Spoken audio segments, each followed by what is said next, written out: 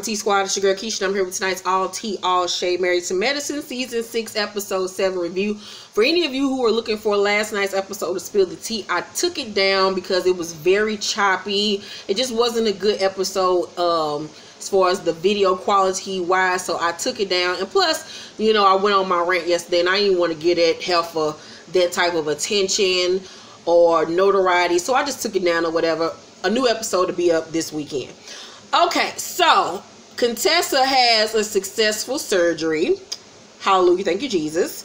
Um, Heavenly returns from Miami. Damon in the house making beats, and I really don't understand why he's damn near 50 and still making beats. Like, is this just a hobby or you trying to be Mannie Fresh? I don't get it, sir. I need for you to stop it. She mad because he ain't welcome her home right. Damon say, you know, tell me about the trip. Heavenly say, you know, we had a real good time. You know, we had a real good trip. I just know you. I got nervous when I touched my sister down. And Damon say, you know, well maybe, you know, you never really dealt with how you feel. It seemed to me like if you had a deal with it, then you would you would have went through all the sadness, and then you know that you know, you would have been okay. he say, you know, all the negative memories I have, I forgot about them. And Damon say, you got a lot of out of the trip though. I'm proud of you, buddy. I'm really proud of you. You know, I'm proud that you went. You know, you're very nice, buddy. I'm like, what? Both you niggas are slow. So Contessa returns home and she is in a lot of pain. Her badass kids climbing all over her. She a better mama than me because I would have pushed them little motherfuckers off their bed. I wouldn't give a fuck about the Bravo cameras being there. I would have knocked the shit out them with badass kids. You see, uh, I just got home from the hospital. I know y'all don't know no better, but move. So Jackie and Big Country are looking for a new um home this their dream home their old house holds too many bad memories. I don't blame you. And she want to be in that motherfucker nowhere. Remember she wanted to be in a condo or something downtown. Jackie trying to get her life child. So toya's kids don't want to leave their school and i can relate to that because you know i moved when my son was in the fourth grade and it was hard you know separating him from his friends and him starting all over again. And that's a big thing that really does affect kids because it affected Kyrie's having to move and start all over and meet new friends and everything and being a new person in class. So that's something they really need to trip off of. And she said their kids have moved like four times in like the last few years. So that's a lot. So Simone and her family eating takeout again. I swear I ain't never seen Simone cook shit. Like, can Simone cook? So her oldest son, Miles, come home from college for the summer. They're all going to stay at the North House together. Simone still giving pushback. She don't want them niggas around her. She just talking about uh being without them and you know how it was enjoyable for her and how the house stayed clean when they weren't around. And cecil said something about it like why you keep on bringing it up? Like we supposed to be working this shit out as a family. She bring it up like you know i can't believe you trying to bring it up to me when you know when you was at the north house or whatever, you was kicking it, going out every night, all on Instagram, posting pictures, and he was like, you was doing the same thing too. And Michael was like, yeah, mama, you was he was in Atlanta kicking it, you was all over kicking it. And Michael had to check both of them, like y'all both arguing for nothing, y'all both sound stupid, cause y'all both was doing the same damn thing, and they look damn retarded that they damn kid had to put them in their damn place. So go ahead on, Michael, for getting them together. So Mariah and some new lady named Dr. Garrett comes by to visit Contessa. Dr. Garrett is a dentist and is very pretty. I loved her brown natural, I mean her blonde natural hair. Contessa didn't tell the ladies about the surgery to afterwards because she didn't want them to worry. She had all her breast tissue removed and implants put in. Dr. Garrett, we find out, just moved into a new home and wants to have a housewarming party. So basically, her role on the show is a friend of the cast. They're filling her out to see how she will work amongst the ladies. Um, so this is what they do. They test, you know, friends out to see if they can be a part of the cast. So hopefully Dr. Garrett can bring something to the to the group. So far she ain't really did nothing. She got to get in there and mix it up. So Quad and her mom and aunt go out, and her mama is a cute little lady, and her aunt look like Phaedra. so their auntie look like she could be Phaedra, mama child. They look like they from the south. So mama had her sister curls and everything, girl. I was like, ooh, child, they look like they from like Tuscaloosa or some shit. So Quad reveals that she did file for divorce and that she found her a new home. She and Gregory text, but she doesn't want to physically talk.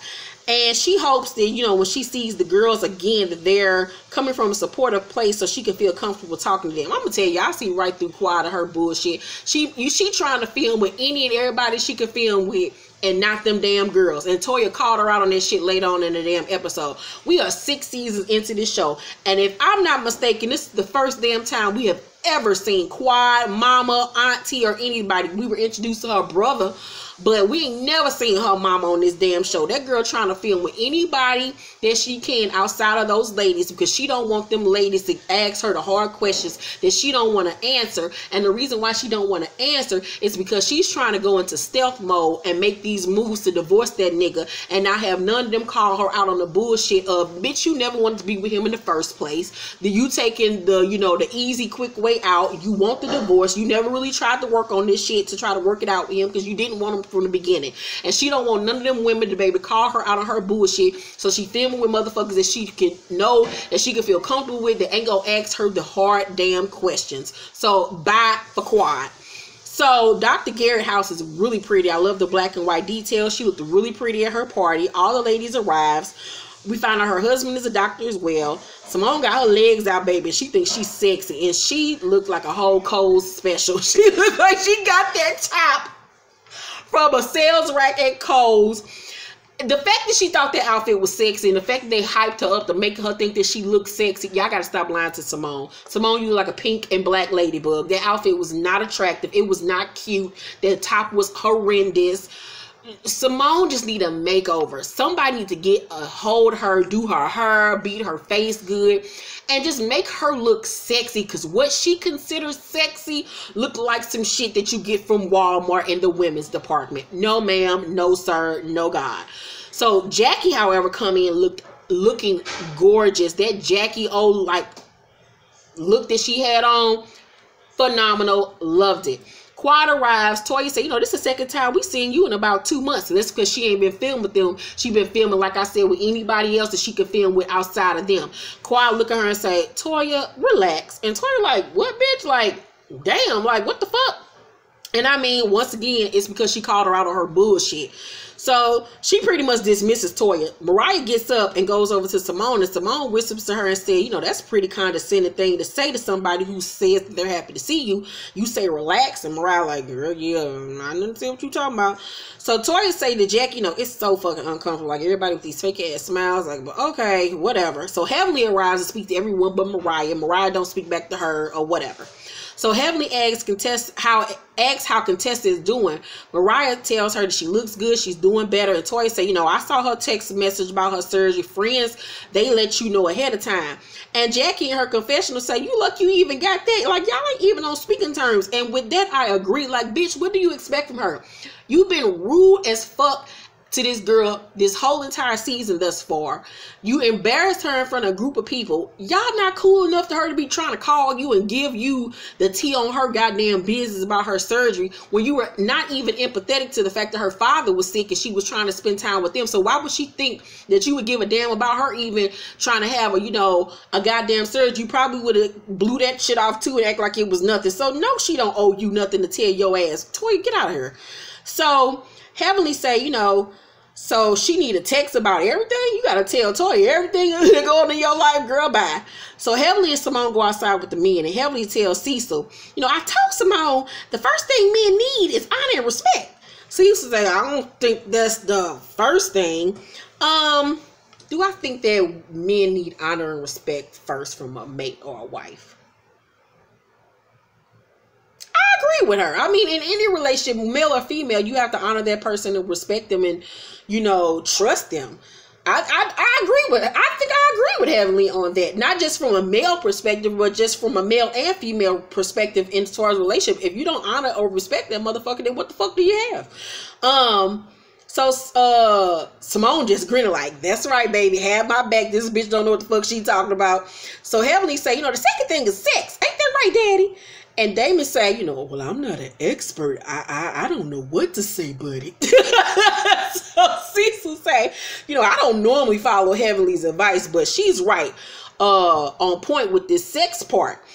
Uh, Toya come outside and pretend to sit on Big Country lap. He jump up like, bitch, you ain't about to set me up this time. I learned my lesson from last season. Quad talks to Jackie again because she know Jackie won't really challenge her on her bullshit. And Quad says, you know, I feel like you and Simone have something to work with. Jackie say, you know, have you prayed about it? And Quad say, I often feel alone.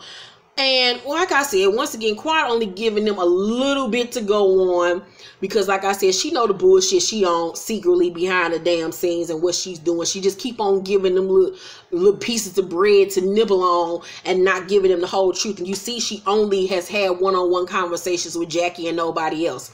So, um, all the ladies come outside. Aydin asks where Gregory is at, and Quad is annoyed. Mariah like Aydin. Aydin, shut up. Don't ask her that. Aydin, like, what the fuck I do? I'm just asking what the nigga. Like, what the fuck?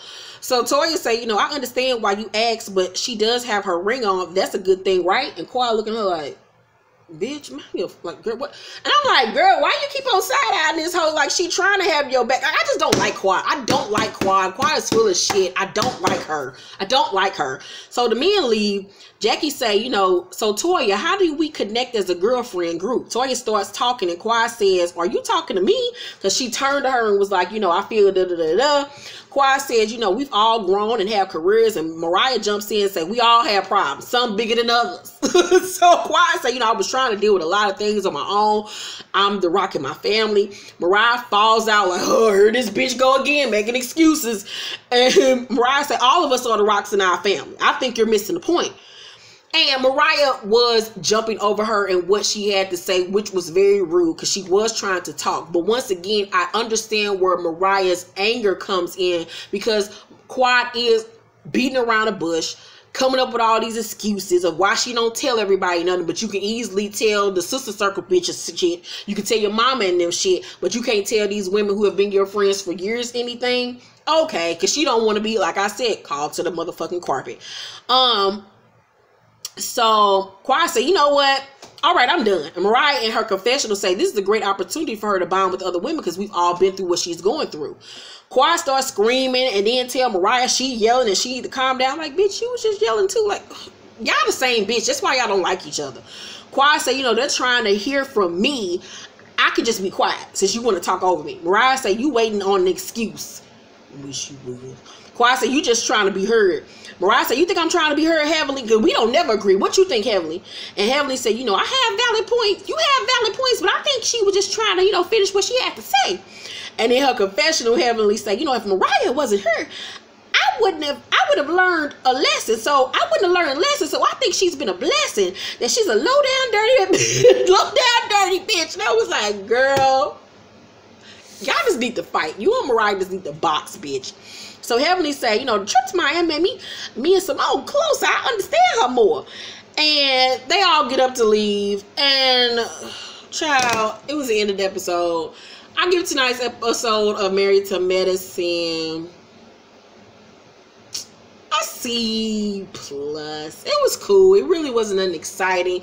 More the same shit. Quad beating around the bush. Mariah being the only one that calls her out on the carpet and on her bullshit to her face while the other ladies sit back and mm-mm and side eye her behind her back. Can't wait to see next week episode when Toya have enough of Quad and her bullshit. Let's talk down below. What do you all think about Quad and this whole situation? What do y'all think about Dr. Garrett? Uh, that's pretty much everything that happened in this episode. It was pretty much another filler episode. I need for the drama to kick back up. Uh, make sure you uh, watch episode two and three of Single Moms Meet. I uh, uploaded episode three early as a treat for you guys. Episode four will be up Wednesday at its regular time, 5 p.m. Central Time. Thank you for all of you who have watched. Please watch it. Please support so I can do more things like this on my channel. Please share it with your family and friends. I need that viewership up, you guys. Please like it like I said, share it as much as you can. And thank you for any and everyone who has watched and left comments. I read everything. So thank you so very much. Um, and just for supporting my channel and supporting me. I love you guys so very much. And I will see you all tomorrow for my Love and Hip Hop Hollywood review. Have a great night. Bye.